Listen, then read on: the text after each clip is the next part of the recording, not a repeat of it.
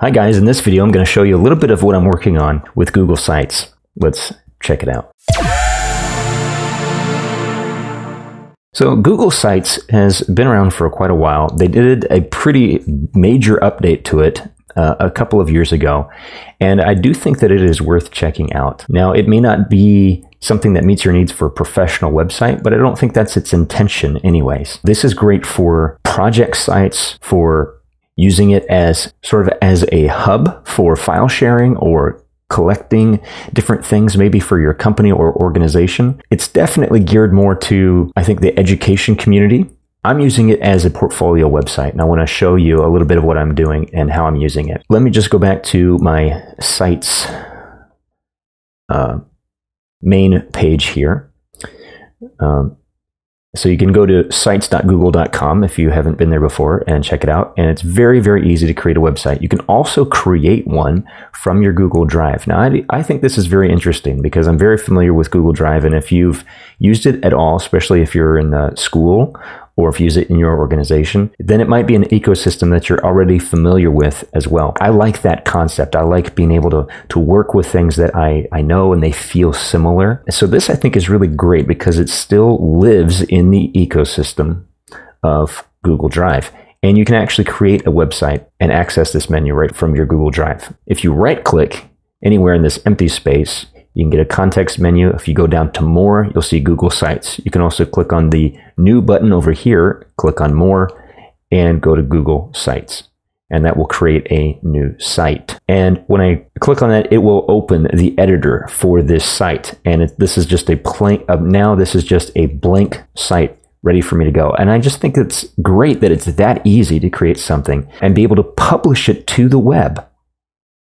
Hmm. They're still rolling out new updates and, and features to this. Uh, so I definitely think it's worth keeping your eye on. I'm going to go back to my site's gallery here and open a site that I have finished.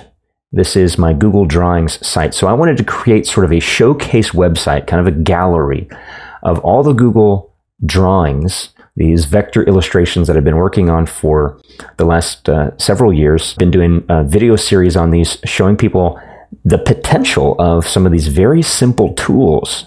And this all started kind of as a challenge for myself. I wanted to see what I could accomplish with the most basic tool I could find. And all I really needed was like a layout tool that gave me some basic uh, vector tools, and Google Drawings did that for me. It also really did something else. The polyline tool became the only tool I ended up using. Over time, I developed a style with these very limited tools that now I really am in love with, and it's become something that I'm I'm known for, which is uh, which is kind of great. So I created a site for it. I wanted a place for this to live on the web, and so I've curated a collection of of a bunch of the vector portraits and illustrations that I've done, and showcased them here in Google Sites.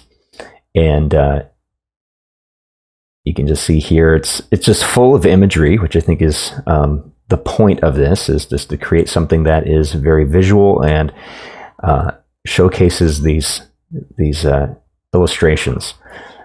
You can add new pages. It's very easy to add new page. You just click the plus button. Everything feels familiar if you're used to using any of the other Google tools. I've also created a page that shows the process or behind the scenes of how these Google drawings, these illustrations and portraits have been created. All of this has been done inside Google Drawings and now using Google Sites to showcase that work. You can embed videos uh, right from YouTube.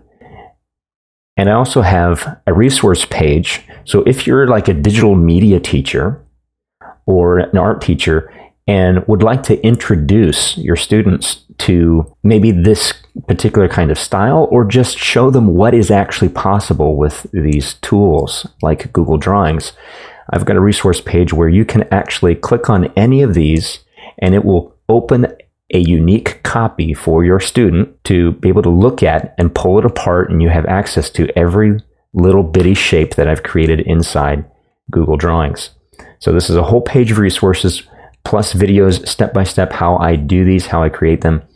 and uh, and then of course I'm just showcasing it here with Google Sites. So I think that you can see you can really do a lot with Google Sites. If I want to look at the published site here, I'll just go to this drop down and go to View Published Site.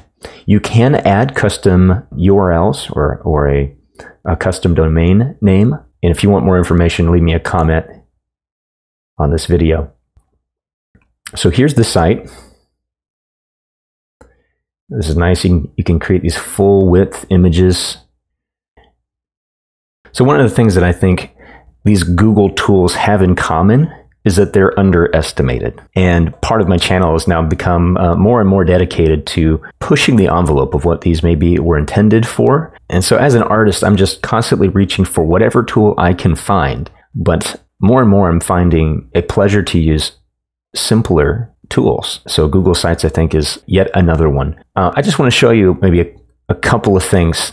I'm working on sort of a, a personal portfolio page, one that uh, not only showcases the Google drawings, but also other work that I've done. So this, this whole site is just for the Google vector portraits and illustrations that I've done.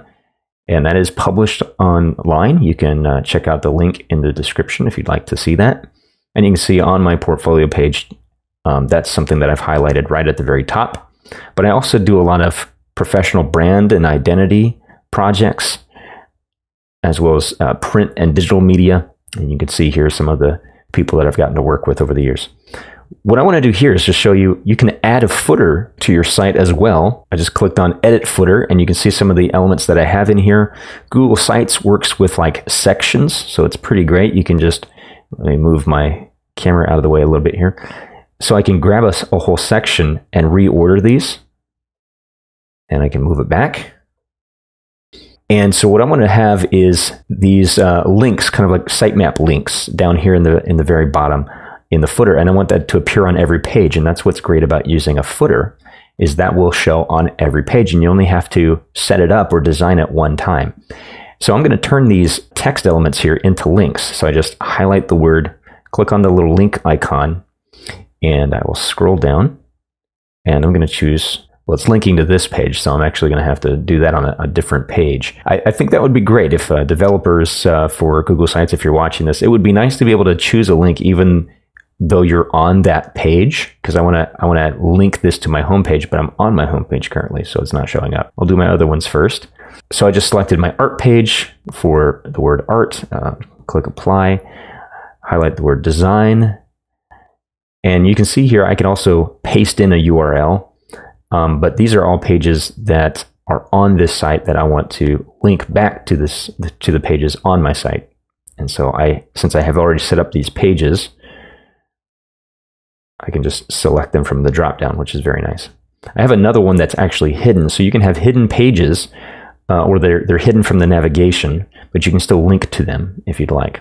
So now I'll go to another page I don't have to click save or anything like that. It will automatically save it for me. I just click off somewhere um, of the footer and it will close that footer editor. So I'll go to my about page. I've done a little bit of work here. It's a little bit simpler page. And now I can edit my footer, select home, click on the link, scroll down, and now I can choose home. There we go. And I'll apply. So now my footer is set up. We have some options here. There's a little three dot drop down menu here. We can have site analytics. We can connect this to Google Analytics, which I've done with my Google Drawings website.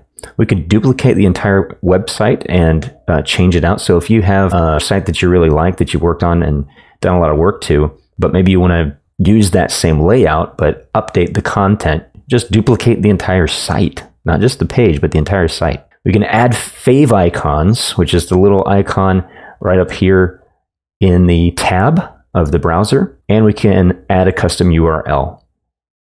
That's where these things are. There's the send feedback, help, and you can take a tour of Google Sites.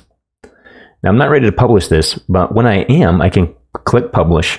This is where I can put in what I want my web address to be, and it will be automatically a subdomain, but it will be published on the web. So it'll always be sites.google.com slash view and then whatever you name it here.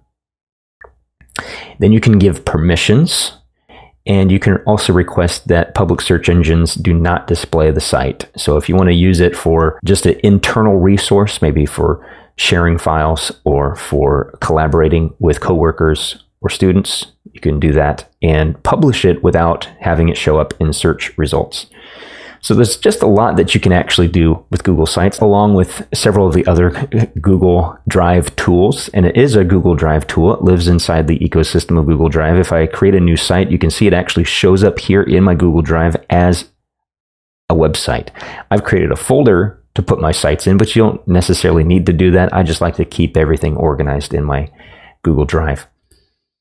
Um, but this is just great. The ability to like drag a website and put it into another folder. So if I was working on something maybe for a client or for a school, I can keep all of their things together, including a project website.